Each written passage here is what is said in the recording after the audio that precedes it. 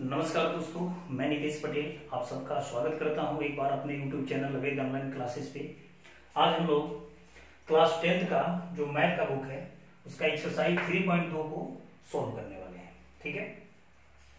इसमें जो पहला क्वेश्चन है, दो क्वेश्चन दिया हुआ है, कुल मिला के सात क्वेश्चन दिया है, और जो पहला क्वेश्चन है, यहाँ पे ये एक का एक नंबर है। इसमें दो क्वेश्चन दिया हुआ है और दोनों क्वेश्चन को कह रहा है कि निम्न समस्याओं में रैखिक समीकरणों के युग बनाइए और उनके ग्राफीय विधि से हल कीजिए। मतलब जो सवाल दिया उसको बीजगणितीय फॉर्म में लाना है, उसके बाद उसका सोल्यूशन करना, उसका मान निकालना है। और मान निकालने के लिए यहाँ पे ग्राफीय विधि का इस्तेमाल किया है। तो पहले इसको हम लोग बीजगणितीय फॉर्म में ला दे, उसके बाद हम लोग ग्राफ ग्राफ पे चलेंगे। ठीक है? ये उसमें का पहला क्वेश्चन है, मैंने यहाँ लिख दिया है। इसमें कह रहा है कि कक्षा 10 के 10 विद्यार्थियों ने एक गणित की पहली प्रतियोगिता में भाग लिया। यदि लड़कियों की संख्या, यदि लड़कियों की संख्या, लड़कों की संख्या से चार अधिक हो तो प्रतियोगिता में भाग लिए लड़कों और लड़कियों की संख्या ज्ञात करें। इसको पहले हम लोग क्या करेंगे? बीजगणितीय फॉर्म में लाएँगे उसके बाद इसको हम ग्राफीय विधि से हल करके और लड़कों और लड़कियों की संख्या ज्ञात करेंगे। सबसे पहले इसमें जो निकालने के लिए दिया हुआ है, उसको मान लेते हैं। हल माना कि लड़कों की संख्या बराबर एक्स तथा लड़, लड़कियों की संख्या बराबर वाई।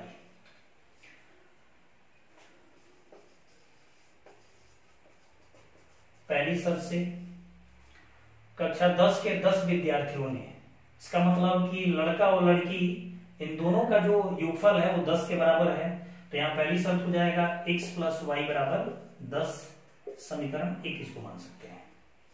डायरेक्ट यहाँ कर सकते हैं दूसरी शर्त से। अब दूसरी शर्त में ये कह रहा है कि लड़कियों की संख्या, लड़कों की संख्या से चार अधिक है। लड़कियों की संख्या अधिक है, लड़कों की संख्या से कितना? तो चार। लड़कियों की संख्या को वाई माना गया है। लड़कों की संख्या को एक्स माना गया है और वाई जो है, इस एक्स से चार अधिक है तो बराबर करने के लिए चार हम इसमें ऐड करेंगे, तब ये बराबर होगा। अगर इसका सोल्यूशन किया जाए तो हो जाएगा x माइनस वाई बराबर माइनस चार समीकरण दो। इस तरह से क्या कर सकते हैं? मतलब ये जो इक्वेशन है समीकरण का जो एप्लीकेशन दिया हुआ है, इसको बीजगणितीय फॉर्म में लाके, इसके बाद जब इसका हम ग्राफ खींचेंगे तो ग्राफ खींचने के बाद इसका जो एक्स वाई का जो मान होगा, उसी मान पे क्या होगा? ग्राफ कटेगा। कहीं ना कहीं जो ये कटेगा, और ये कटने वाला जो मान होगा, यही मान एक्स और वाई का ये मान हो जाएगा। ठीक है? तो इस तरह से क्या कर सकते हैं? इस इक्वेशन को सॉल्व करके, ये तो मैंने केवल बीजगणितीय फॉर्म में दिया। इस एक और दो को इस्तेमाल करके इसका ग्राफ खींचना है। ठीक है?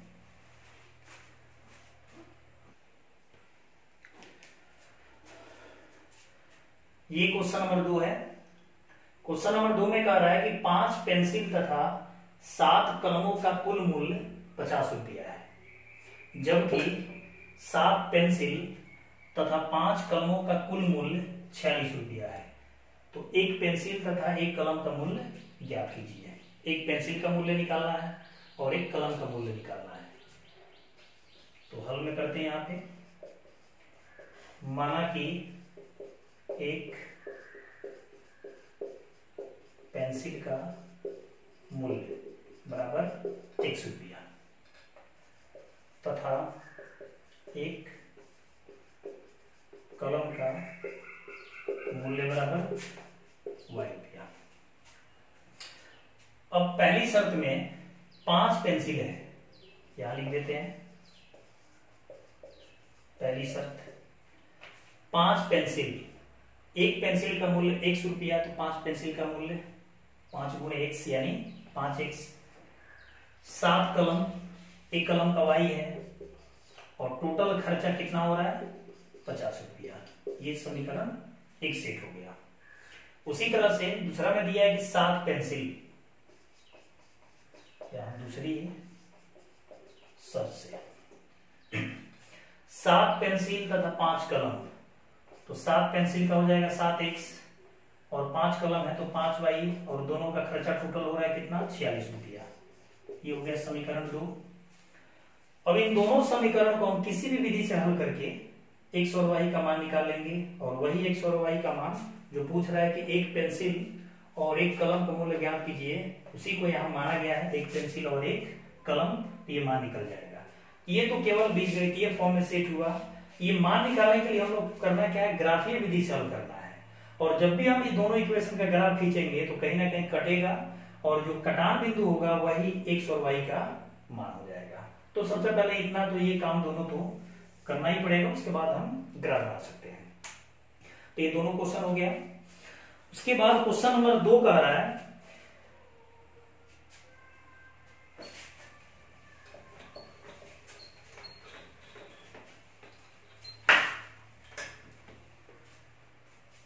क्वेश्चन नंबर दो कह रहा है कि अनुपातों a one by a two b one by b two और c one by c two की तुलना कर ज्ञात कीजिए कि निम्न समीकरण युग्म द्वारा निरूपित रेखाएँ एक बिंदु को प्रतिच्छेद करती है, समानांतर अथवा संपाती है। मैंने बताया था कि अगर a one by a two बराबर नहीं b one by b two तो ये हो जाएगा प्रतिच्छेदी मतलब ग्राफ कटेगा। दूसरा बताया गया था a one by a two बराबर b one by b two बराबर नहीं c one by c two कोई हल नहीं। मतलब ग्राफ समानांतर होगा। और तीसरा मिला था कि a one by a two बराबर b one by b two बराबर c one by c two तो यहाँ अनेक हल होगा और वैसी स्थिति में जो ग्राफ बनेगा, दोनों लाइन का जो रास्ता होगा, एक ही से होगा।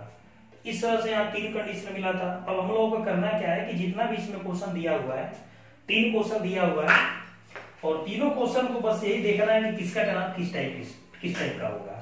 समानांतर होगा कि प्रतिच्छेदी होगा कि संपाती होगा। जैसे इसमें पहला सवाल दिया है पाँच एक्स माइनस चार वाई प्लस आठ बराबर ज़ीरो इसको हम समीकरण एक मान लेते हैं। सात एक्स प्लस छ वाई माइनस नौ बराबर ज़ीरो इसको दो मान लेते हैं। अब इस, इसको जांचना है कि इसका ग्राफ कैसा होगा। तो हम यहाँ जा सकते हैं ये समीकरण एक है ये समीकरण दो है। तो a one by a two निकालेंगे ए वन का मान पाँच ए टू का मान सात। फिर यहाँ b one by b two निकालेंगे बी वन का मान माइनस चार और बी टू का मान छ अगर इसको सिंप्लीफाई करें तो हो जाएगा माइनस दो बटा तीन। अगर हम तुलना करके देखें a one by a two और b one by b two a one by a two b one by b two a one by a two का मान है पाँच बटा सात और b one by b two का मान है माइनस दो बटा तीन। इसका मतलब ये बराबर नहीं है। जब ये कंडीशन आ गया, इसका ग्राफ क्या होगा? प्रतिच्छेदी होगा। केवल हम लोग करना क्या है कि ऐसे दिखा के और लिख देना है कि किसका ग्राफ किस टाइप से होगा, प्रतिच्छेदी होगा कि समानांतर होगा या संपाती होगा। ये पहला क्वेश्चन है। दूसरा क्वेश्चन दिया हुआ इसमें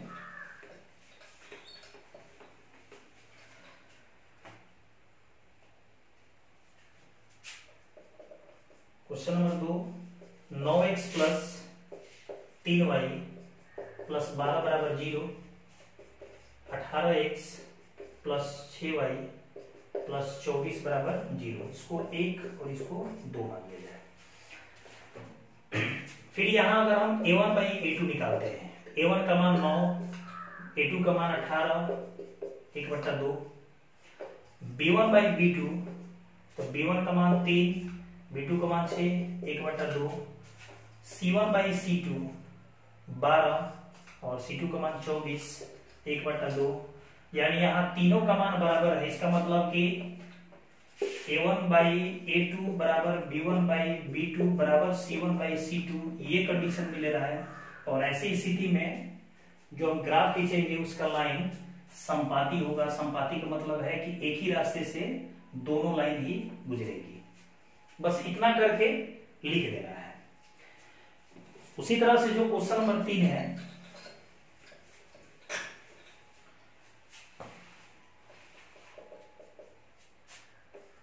एक्स माइनस तीन वाई प्लस दस बराबर ज़ीरो और दो एक्स माइनस वाई प्लस नौ बराबर ज़ीरो, ये समीकरण एक, ये समीकरण दो।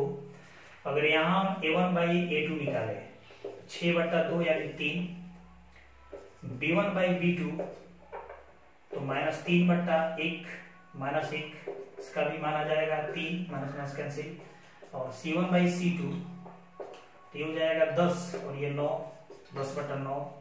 इसका मतलब कि a one by a two बराबर b one by b two a one by a two बराबर b one by b two दोनों का मान सेम है, जबकि ये अलग है तो ये बराबर नहीं है c one by c two और ऐसी स्थिति में ग्राफ जो होता है समांतर होता है। तो तीन सवाल और तीनों पे एक एक करके दिया है। तो इस तरह से हम सवाल को सॉल्व कर सकते हैं।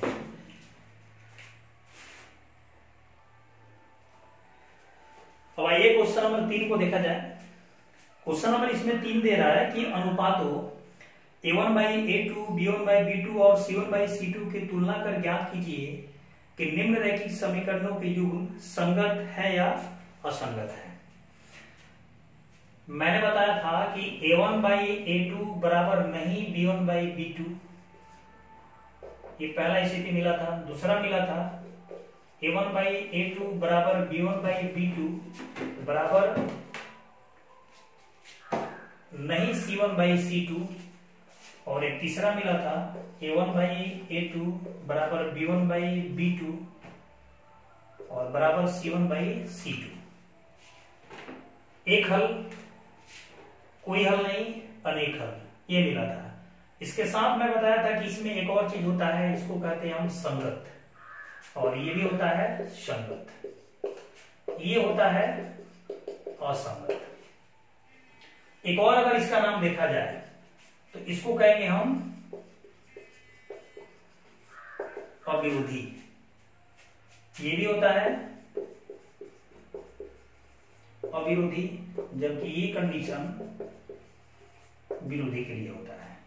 किताब में ये नहीं दिया है, लेकिन हम लोग याद रखेंगे, हो सकता है कि ऑब्जेक्टिव में ऑब्जेक्टिव वाले क्वेश्चन में से पूछ दे। तो इस क्वेश्चन में क्वेश्चन नंबर तीन में क्या करना है कि जो भी इक्वेशन तीन इक्वेशन यहाँ पर दिया हुआ है, पाँच इक्वेशन दिया हुआ है, और प्रत्येक के लिए बस ये बताना है कि कौन संगत है, कौन असंगत है। बस।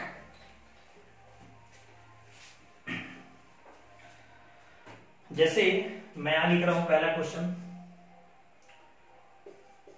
तीन एक्स प्लस दो आई बराबर पाँच. इसको मान लेते हैं समीकरण एक. दो एक्स माइनस तीन वाई बराबर सात. इसको दो मान लेते हैं. अब ये जांचना है कि इसका हल संगत है या असंगत है. तो सबसे पहले हम क्या करेंगे? A one by a two निकालेंगे.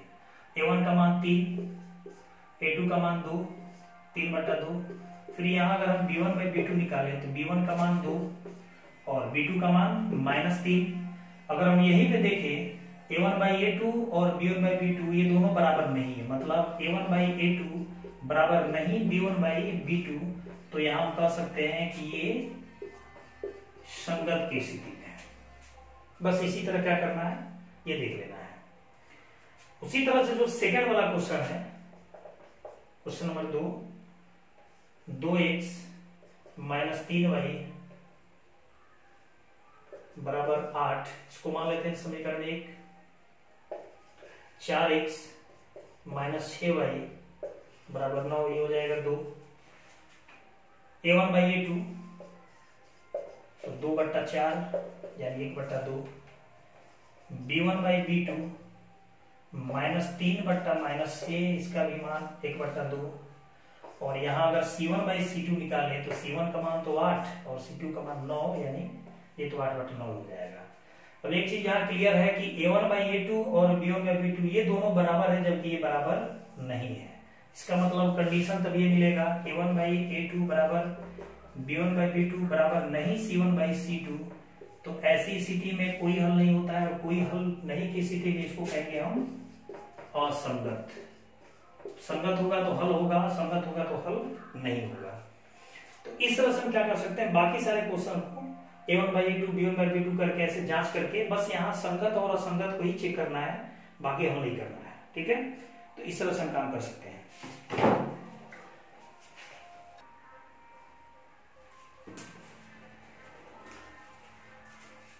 अब देखा जाए क्वेश्चन नंबर चार। क्वेश्चन नंबर चार में कह रहा है कि निम्न रैखिक समीकरणों के युग्मों में से कौन से युग्म संगत या असंगत है? यदि संगत है तो ग्राफीय विधि से हल ज्ञात करें। असंगत है तो उसके बारे में कुछ नहीं दिया है। तो हम लोग जानते हैं कि दो स्थिति संगत के लिए होती है।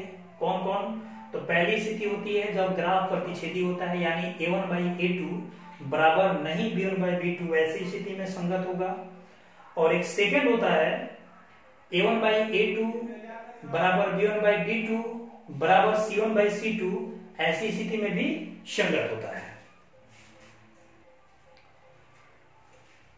बात समझ में आ गई?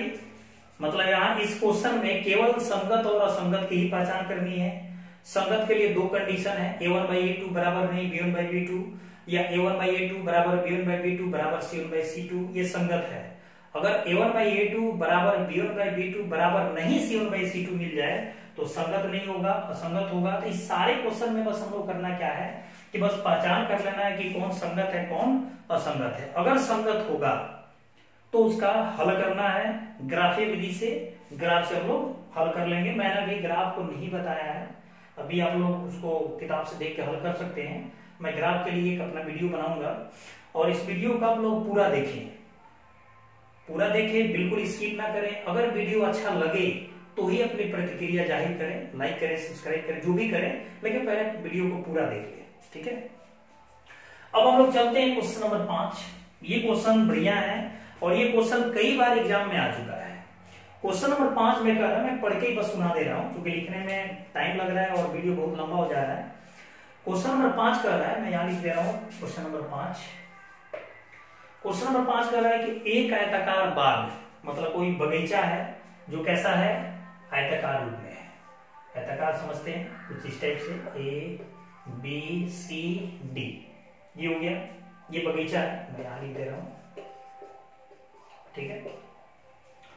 जिसकी लंबाई चौड़ाई से चार मीटर अधिक है। लंबाई चौड़ाई से।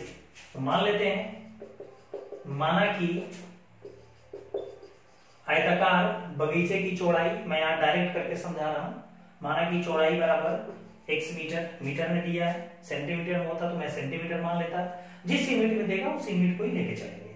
माना कि आयताकार जो बगीचा है या आयताकार जो खेत होगा, जो भी होगा, चौड़ाई बराबर एक मीटर ठीक है? तो इसीलिए यह हम कर लेंगे लंबाई। तो लंबाई क्या है? इसमें कंडीशन में कहा है कि लंबाई चौड़ाई से चार मीटर अधिक है। इसका मतलब कि लंबाई तब एक्स प्लस चार हो जाएगा।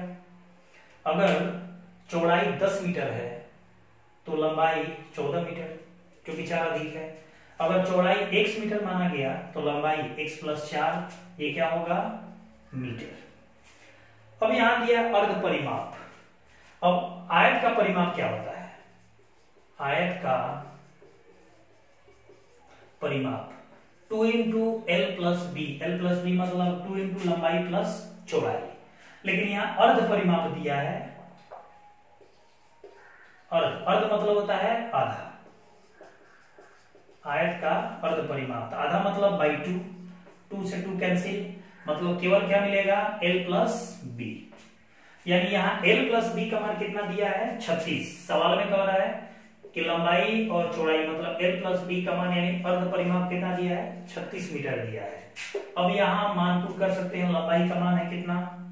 एक्स प्लस चार प्लस चौड़ाई का मान तो एक्स है, बराबर है ये छत्तीस। एक्स एक्स जोड़ेंगे तो टू एक्स बराबर छत्तीस।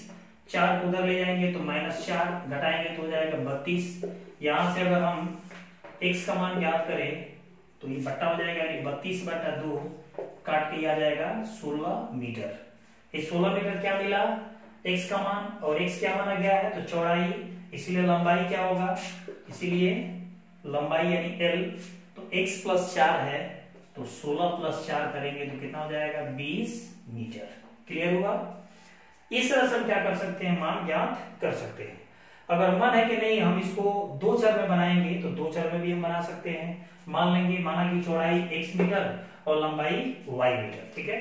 अगर चौड़ाई को हम मानते हैं तो मैं तो चल बता रहा हूँ। चौड़ाई एक्स मीटर और लंबाई वाई मीटर। तो ये लंबाई क्या है? चौड़ाई से चार अधिक है तो बराबर करने के चार इसमें ऐड करेंगे। यानी x माइनस एक्स माइनस इसको अगर हम सोल्व करें तो ये तो इधर जाएगा तो x माइनस वाई प्लस चार बराबर ज़ीरो समीकरण एक। एक काम ये कर सकते हैं। और एक इक्वेशन हम यहाँ से स्केप कर लेंगे तो दो चार में बन जाएगा और दोनों को किसी भी विधि से हल करके मान ज्ञात कर सकते हैं। तो इस तरह से हम क्या करेंगे? क्वेश्चन नंबर पाँच को सॉल्व कर सकते हैं। समझ में आ गया? मैंने यहाँ बनाया नहीं, मैं डायरेक्ट समझा दिया। कोई बड़ी चीज़ नहीं आसान सा क्वेश्चन है। ठीक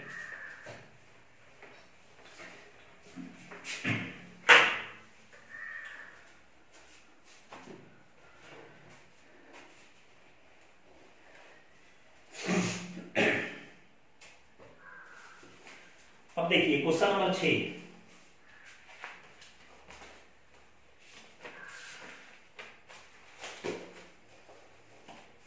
ये तो बहुत आसान क्वेश्चन है।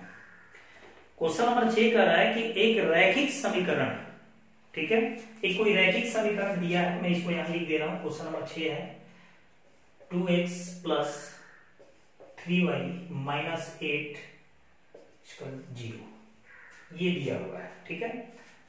इसको एक मान के ही चलते हैं। फिर आगे कह रहा है कि दो चरों में एक ऐसी और रैखिक समीकरण लिखिए। मतलब इसी टाइप से एक और अपने मन से लिखना है। ताकि प्राप्त युग्म का जैमितीय निरूपण जैसा तो पहला सवाल कर रहे हैं यहाँ पे। प्रतिच्छेदी करती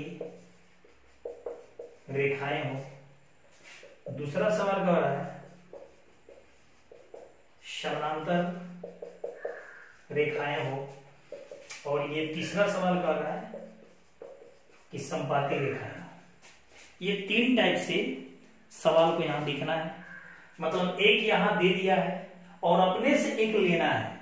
और वो समीकरण इस प्रकार से हो कि ये तीनों चीज़ हो जाए। मतलब एक बार लेंगे तो ये बन जाए, फिर एक बार लेंगे तो ये बन जाए, फिर एक बार लेंगे तो ये बन जाए। मतलब तीनों के लिए एक एक एग्ज़ाम्पल हम लोग को लेना है। तो मैं सबसे पहले यहाँ क्या कर रहा हूँ, ये पहले वाले क्वेश्चन के लिए मैं यहाँ दिखा दे रहा हूँ क्वेश्चन नंबर एक, ठीक है? प्रतिच्छेदी के लिए। अब हम लोग जानते हैं कि प्रतिच्छेदी में क्या होता है? A one by a two बराबर नहीं b one by b two तो हम लोग ऐसा लेना है कि a one by a two अब बराबर नहीं b one by b two set हो जाए। तो यहाँ दो एक्स है तो अपने से हम ले रहे हैं चार एक्स अब दो एक्स तो चार एक्स तो ए वन का मान दो ए टू का मान चार, दो बट्टा चार, एक बट्टा दो। अब ऐसा लेना है वाई का मान कि ना जाए इतना तो ये पाँच वाई ले लेते हैं। और मन करे तो ये बराबर कर ले या यहाँ पे कुछ और ले ले। ये तीन बराबर ज़ीरो। ये मैंने अपने से ले लिया, मैं एक चीज़ बता दूँ कि ये जो इक्वेशन है ना, हम कुछ भी ले सकते हैं। लेकिन लेने का तरीका ऐसा हो कि ये कंडीशन बस मिल जाए। ऐसा नहीं है कि चार एक्स प्लस पाँच वाई प्लस तीन बराबर ज़ीरो ही केवल होगा। बहुत सारे एग्ज़ाम्पल संभव है। वो अपने से ही लेना है, लेकिन ऐसा लिया जाए कि ये चीज़ में लागू हो जाए। क्लियर हुआ? ये हम ले सकते हैं। दूसरा, अब ये कैसे? तो यहाँ देख सकते हैं ए वन ए टू दो बट्टा चार, एक बट्टा दो क्लियर एक बट्टा दो। तीन बट्टा पाँच, क्या ये? ये कंडीशन तो आया। और ये कंडीशन में क्या होता है? प्रतिषेधी तो ये तो मिल गया। सेकंड के लिए अगर हम लोग देखें क्वेश्चन नंबर दो तो दो में क्या चाहिए? दो में चाहिए समानांतर। समानांतर के लिए क्या होता है?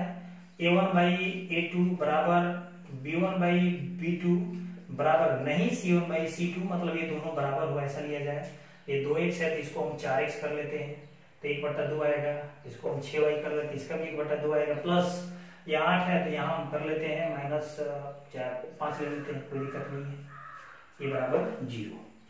अगर हम इन दोनों का तुलना करें, one by two, b one by b two, c one by c two तो ये कंडीशन मिल जाएगा। ठीक इसी तरह, अगर हम क्वेश्चन तीन को देखें, संपाति तो संपाति में तीनों तो बराबर होना चाहिए।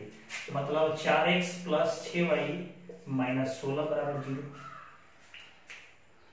दो बट्टा चार, एक बट्टा दो तीन बट्टा छ एक बट्टा दो, माइनस आठ बट्टा माइनस सोलह, एक बट्टा दो, तीनों बराबर हो गया। और तीनों के लिए मैंने यहाँ एग्ज़ाम्पल सेट कर दिया। मैंने एक चीज़ शुरू में ही बताया कि ज़रूरी नहीं है कि केवल ये तीन एग्ज़ाम्पल ही संभव होंगे, और भी बहुत सारे एग्ज़ाम्पल संभव हो सकते हैं। बस अपने माइंड पर डिपेंड करता है कि हम कैसे सोचते हैं। क्लियर हुआ? और ये जो भी एग्ज़ाम्पल लेंगे, कुछ इस तरह से इस पे लागू होना चाहिए। तो ये हम लोग का क्वेश्चन नंबर सात, छह भी हो गया। एक और इस चैप्टर में क्वेश्चन बचा हुआ है क्वेश्चन नंबर सात, उसको भी देख लेते हैं।